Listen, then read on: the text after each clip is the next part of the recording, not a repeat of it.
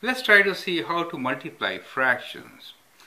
Okay, it is not a very difficult process. The only thing you have to remember that you can multiply numerators together and the denominators together and get your answer.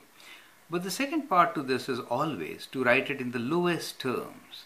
So if there are some common factors in numerator and denominator, they should be simplified to lowest terms. Okay, so we'll learn how to do both. The very first example, when we look at it, these are all prime numbers, right? So nothing really gets simplified here. You simply multiply numerator and denominators together. So numerators are 5 and 2. So 5 times 2 is 10. We get 10 here.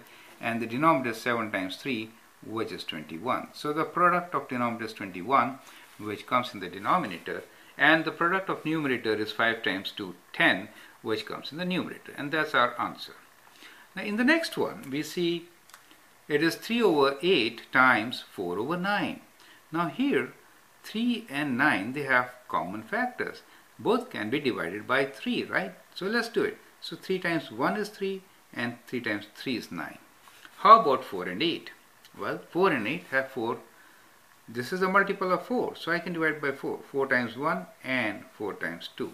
So first step is always simplify by crossing out what is common factor as I done just now. And then multiply. 1 times 1 1 and denominators are 2 times 3 which is 6 so you get 1 over 6 now the next one. Here they are mixed fractions. So first step is write the mixed fraction as an improper fraction correct?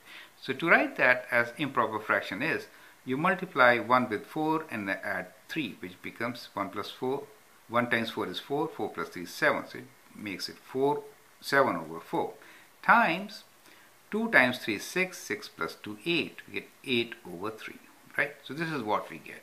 And next step is what we did here. Simplify. So here 4 and 8 so 4 goes 1 times and 2 times into 8 and so we have simplified it as much as we could.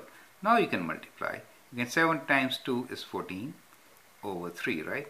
If you want, it depends on the question, but at this stage, you can write answer as a mixed fraction. So divide 14 by 3. So how do you do it? You have 14 and then you divide 14 by 3, right? 3 goes 4 times, 4 times 3 is 12 and 2 is a remainder. So this could be written as 4 as a whole number, right?